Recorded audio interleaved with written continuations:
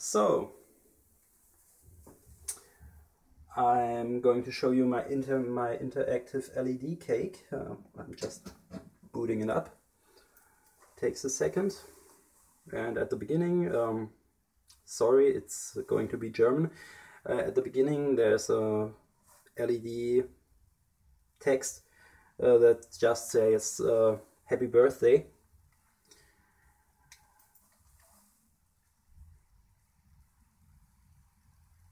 It's uh, just a simple 5 by 5 pixel font and in total it's a 5 by 6 LED matrix. Uh,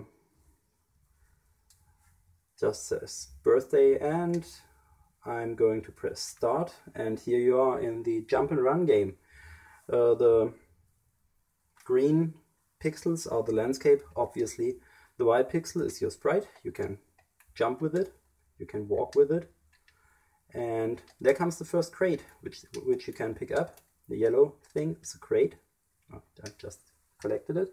Um, at the beginning, when I started working on it, uh, there was a death feature when you dropped out of the landscape. Uh, I did not really put this into action because it made the game just so much more frustrating to play and in the end my wife's not that much of a gamer that I wanted to frustrate her on her, on her own birthday.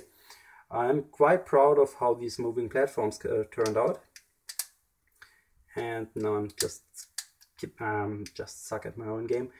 Uh, so I collect another crate and here's the first uh, enemy, this red pixel. Just it, uh, I have to admit it does nothing but uh, but to be there. Uh, again, my wife's not that much of a gamer that I wanted to um, make the make the enemies actually deadly. And uh, whoops, uh, just probably spotted uh, a little bug of mine. Uh, there was no really no real detection that I actually collected the crate. It just uh, mystically disappeared when I was walking under it.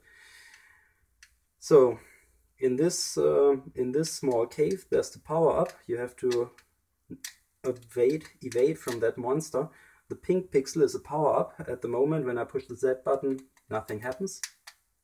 And now my character's armed and I actually can't get back at those red pixels which turns out to be uh, very important because at this point here there's actually an enemy blocking my passage. So I'm just going to nuke him out of the way. And another crate. And here we go. Here's the castle and I finished the game. This is uh, the point where my wife will be or was presented with her birthday present. Ta-da! And you are now at the end watching the ever cycling rainbow animation that um, congratu congratulates you on beating the game. Thanks for watching.